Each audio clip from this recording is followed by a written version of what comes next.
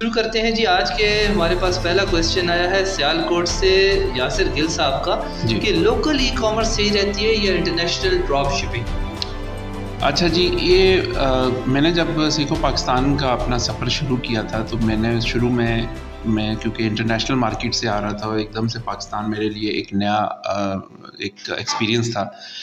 تو پاکستان کے اندر میں نے یہ دیکھا کہ پہلے میرا میں بہت ایکسائٹیڈ تھا۔ کہ لوکل ای کامرس کریں گے، کیونکہ ایڈ کاسٹ بڑی ریزنیبل ملتی تھی ہمیں سیلز بڑی فنل کے ذریعے انٹر فنلس کے ذریعے۔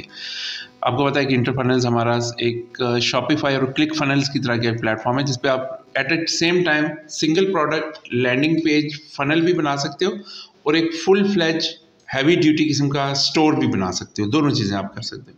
تو آپ ای کامرس بھی کر سکتے ہو۔ اور آپ ایک سنگل پروڈکٹ کے اوپر فوکس کرتے ہیں۔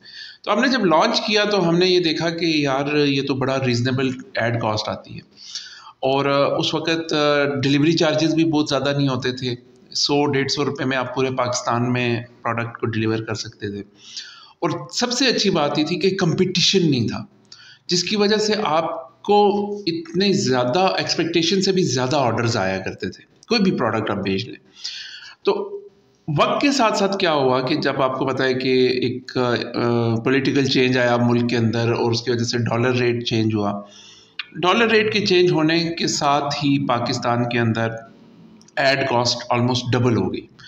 تو ایک تو وہ ہاں، ہاں، ہمیں ایکسٹرا پے کرنا پڑ گیا۔ پھر اس کے بعد پیٹرول مہنگا ہونے کی وجہ سے ڈلیوری کاسٹس بڑھ گئی پھر تیسرا جو سب سے بڑا مسئلہ ہے وہ یہ ہے کہ ہر کسی کو پتہ چل گیا کہ لوکل ای کامرس کس چیز کو کہتے ہیں اور بہت سارے نئے مینٹورس لوگوں کو اس طرف راغب کرنے لگے، جس وجہ سے کمپٹیشن بھی بہت بڑھ گیا۔ تو اب وہ ایڈ کاسٹ بھی ویسی نہیں رہی آرڈرز بھی ویسے نہیں رہے، ویسے ہی آرڈرز کم ہو گئے ہیں۔ اوپر سے وہ مہنگے پڑ رہے ہیں، اوپر سے کسٹمر اپنی پرائز بڑھانے کو تیار نہیں ہے تو ان وجوہات کی وجہ سے میں نے پھر لوکل ای کامرس کو خیر بات کہا۔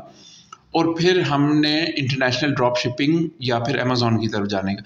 انٹر فنلز یاد رکھیے گا، ایک ایسا پلیٹ فارم ہے جس کے اوپر آپ پے پیل سے بھی پیمنٹ لے سکتے ہو اسٹرائپ سے بھی لے سکتے ہو، اس کے اوپر آپ ای میل مارکیٹنگ بھی کر سکتے ہو، اس کے اوپر آپ ایفیلیٹ مارکیٹنگ بھی کر سکتے ہو۔ یعنی ایک پورا پورا ایک بزنس ان اے باکس ہے، جو کہ پاکستانیوں کے لیے ابھی اویلیبل ہے۔ انٹرنیشنل میرے کلائنٹس بہت زیادہ ہیں، وہ اس کو یوز کرتے ہیں۔ تو اب آپ نے لیٹ سپوز کہ چائنا سے ایک پروڈکٹ لینی ہے۔ ٹھیک ہے دیکھنی ہے۔ وہ ظاہر ہے کہ اس کی بھی پروڈکٹ ہنٹنگ کا کرائٹیریا نش ہنٹر ایک ہے۔ اس کے علاوہ ای کام ہنٹر ایک ایپ ہے ٹھیک ہے۔ ای کام ہنٹر آئی تھنک اس وہ پلیٹ فارم کیا کرتا ہے؟ وہ کہتا ہے کہ اس وقت ڈراپ شپنگ میں یہ یہ یہ پروڈکٹس جو ہیں یہ بڑی اچھی چل رہی ہیں۔ پھر وہ آپ کو اس کے ایڈز بھی دکھاتا ہے کہ ایڈز اس طرح کے بنانے ہیں۔ پھر وہ آپ کو آڈینس بھی دکھاتا ہے کہ فیس بک پہ یہ والی آڈینس کو آپ نے ٹارگیٹ کرنا ہے تو آپ کو اتنا رسپانس پھر وہ آپ کو آر او آئی بھی دکھاتا ہے۔ ایسے ٹولز موجود ہیں، ان کے ذریعے آپ پروڈکٹ ہنٹ کریں اور اس کو آپ انٹر فنلز میں اس کا لینڈنگ پیج کریٹ کریں۔ اور پھر اس کو علی بابا سے بلکہ اس میں ایک اور سائٹ آج کل آ گئی ہے، ٹیمو۔ ٹیمو سے اس کو سورس کریں۔ فار ایگزامپل ٹیمو پہ وہ آپ کو پانچ ڈالر کی ملتی ہے۔ آپ اس کو ایڈ لگا کے ایڈ کی کاسٹ اس کے اوپر دس ڈالر رکھیں اور پانچ ڈالر پہ اس کے اوپر پروفٹ رکھیں۔